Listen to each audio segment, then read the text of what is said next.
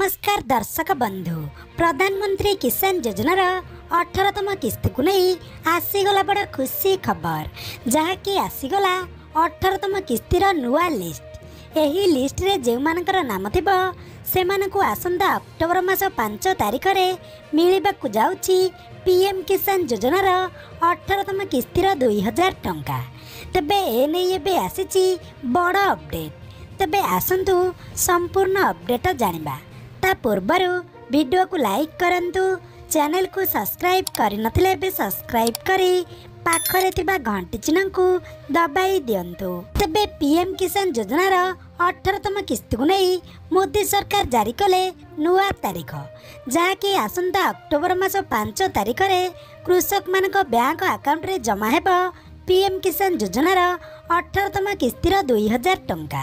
ଆଉ ଯାହାକୁ ନେଇ ବର୍ତ୍ତମାନ ୱେବସାଇଟ୍ରେ ତାରିଖ ମଧ୍ୟ ମେନସନ୍ ହୋଇସାରିଛି। ତେବେ ଏହି ଅକ୍ଟୋବର ମାସ ପାଞ୍ଚ ତାରିଖରେ ପ୍ରଧାନମନ୍ତ୍ରୀ ନରେନ୍ଦ୍ର ମୋଦି ଜାରି କରିବେ ପିଏମ୍ କିଷାନ ଯୋଜନାର ଅଠରତମ କିସ୍ତି। ତେବେ ଏହି ପିଏମ୍ କିଷାନ ଯୋଜନାର ଅଠରତମ କିସ୍ତି ସେହିମାନେ ପାଇପାରିବେ ଯେଉଁମାନେ ପିଏମ୍ କିଷାନ ଯୋଜନାର ଇ କେ ୱାଇ ସି ସମ୍ପୂର୍ଣ୍ଣ କରିଥିବେ। ଆଉ ଯେଉଁମାନେ ଇ କେ ୱାଇ ସି କରିଛନ୍ତି ସେମାନଙ୍କର ନାମ ମଧ୍ୟ ନୂଆ ଲିଷ୍ଟରେ ଆସିଯାଇଛି ତେଣୁ ଯେଉଁମାନଙ୍କର ନାମ ନୂତନ ଲିଷ୍ଟରେ ଥିବ ସେମାନଙ୍କୁ ଅକ୍ଟୋବର ପାଞ୍ଚ ତାରିଖରେ ମିଳିବ ପିଏମ୍ କିଷାନ ଯୋଜନାର ଅଠରତମ କିସ୍ତିର ଦୁଇ ହଜାର ଟଙ୍କା। ତେଣୁ ଆପଣ ଏଯାଏଁ ଯଦି ଇ କେ ୱାଇ ସି କରିନାହାନ୍ତି ତେବେ ଏବେ ବି ପୋର୍ଟାଲ ଖୋଲା ଅଛି।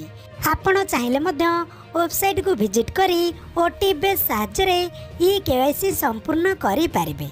ଆଉ ଏହା ସହିତ ଆପଣ ଯଦି ପି ଏମ୍ କିଷାନ ଯୋଜନାର ଲିଷ୍ଟ ଦେଖିବାକୁ ଚାହୁଁଛନ୍ତି ତେବେ ଆପଣ ପି ଏମ୍ କିଷାନ ଯୋଜନାର ୱେବସାଇଟ୍କୁ ଯାଇ ନୂଆ ଲିଷ୍ଟ ମଧ୍ୟ ଦେଖିପାରିବେ। ତେବେ ବର୍ତ୍ତମାନ ଆସିଥିବା ଅପଡେଟ୍ ମୁତାବକ ଆସନ୍ତା ଅକ୍ଟୋବର ମାସ ପାଞ୍ଚ ତାରିଖରେ ଆସିବ ପି ଏମ୍ କିଷାନ ଯୋଜନାର ଅଠରତମ କିସ୍ତିର ଦୁଇ ହଜାର ଟଙ୍କା।